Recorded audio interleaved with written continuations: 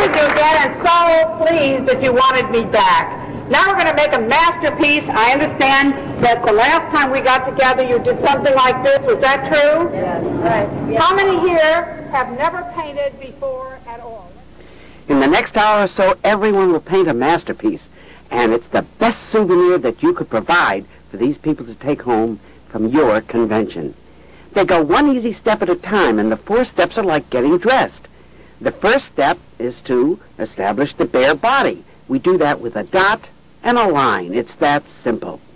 Then the second step is like getting yourself dressed with underclothing. And we just smear the white on. We don't have to worry whether it's good or bad.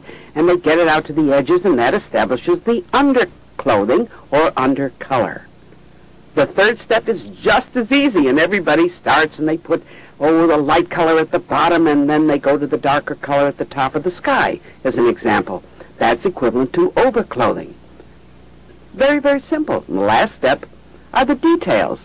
And I've got a lot of easy ways to get those so that your group will have the greatest time of their lives and it will be a forever souvenir.